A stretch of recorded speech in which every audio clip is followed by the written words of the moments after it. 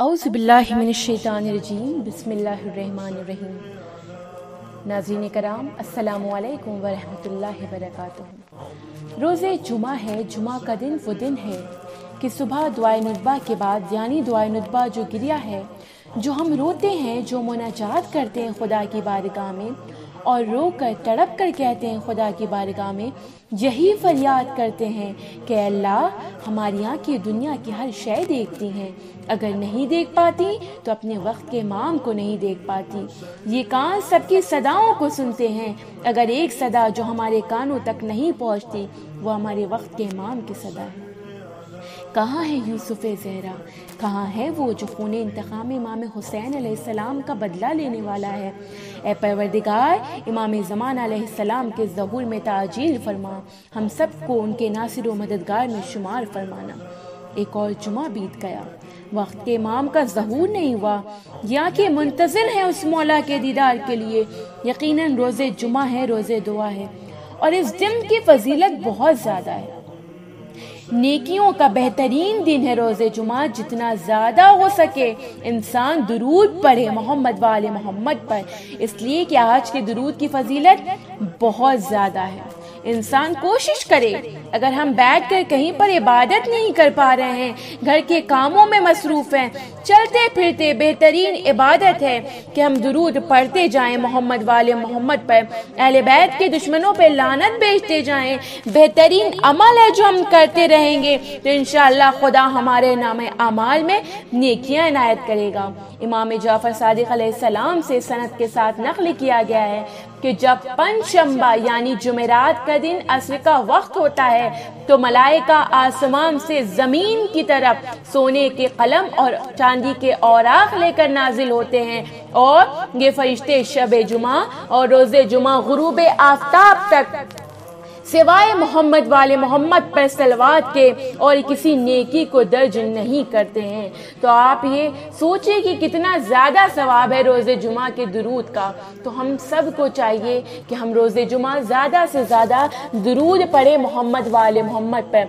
फिर इमाम रज़ा सलाम से मोतबर सनत के साथ नकल किया गया है। कि रसूल अकरम ने फरमाया कि रोज़े जुमा अफजल तरीन रोज़ है और परवरदिगार इस दिन नेकियों के सवाब को दुगना कर देता है। और गुनाहों को माफ़ कर देता है और इंसान के दर्जात को बुलंद कर देता है। दुआओं को कबूल करता है और रंजो गम जायल कर देता है। बड़ी बड़ी हाजतें इस दिन पूरी होती हैं। मालिक अपने बंदों पर खसूसी मेहरबानी फरमाता है और एक बड़ी जमात को आतिश जहन्नम से आज़ाद कर देता है। लिहाजा जो शख्स भी इस दिन परवरदिगार से दुआ करे और इस दिन के हक को और इस दिन की हुरमत को पहचान ले पर परवरदिगार आलम उसे आतिश जहन्नम से आज़ाद कर देगा। और अगर कोई शख्स रोज़े जुमा या शब जुमा मर जाए तो उसे शहीदों का सवाब इनायत करेगा। और क़यामत के दिन आज़ाब इलाही से महफूज रहेगा। लेकिन अगर कोई शख्स जुमे की तोहीन करेगा और इसके हक को ज़ाया कर देगा या नमाज़ जुमा अदा न करेगा या हराम से परहेज न करेगा तो परवरदिगार के लिए लाजिम है कि अगर तोबा न करे तो उसे आतिश जहन्नम में डाल दे। तो गौर करे तस्वुर करे कि कितना ज़्यादा सवाब है दुरूद का और कितनी ज़्यादा फजीलत बताई गई है रोज़े जुमा के लिए। इमाम मोहम्मद बाकी से नकल किया गया है कि कोई दिन रोज़े जुमा से बेहतर नहीं है। हद ये है कि जुमा के जुमे के दिन परिंदे भी आपस में मुलाकात करते हैं तो सलाम करके कहते हैं कि आज का दिन बेहतरीन दिन है। इमाम जाफ़र सदक सलाम से मोतबर सनत के साथ नकल किया गया है कि जो शख्स जुमा का दिन हासिल करे, उसे चाहिए कि इबादत के अलावा किसी और अमल में मशगूल ना हो। परवरदिगार, इस दिन अपने बंदों को बख्श देता है और अपनी रहमत इन पर नाजिल कर देता है। तो हमें चाहिए कि इस दिन की फजीलत को हम ज़्यादा से ज़्यादा समझें। तो हम सब कोशिश करें कि इस रोज़ को ज़ाया ना होने दें। ज़्यादा से ज़्यादा इस रोज़ अपने वक्त को इबादत में गुजारें। यानी जितने भी अमाल बताए गए हैं रोज़े जुमा के लिए दुआए नुतबा पढ़ें, ज़ारत साहिब ज़मान पढ़ें, सलवात रोज़े जुमा पढ़ें, नमाज़ माम ज़माना सलाम पढ़ें, दुआए फ़रज पढ़ें। इसलिए कि यही वो दिन है कि जिस दिन इमाम का जहूर होगा और इमाम की विलादत भी रोज़े जुमा को हुई थी।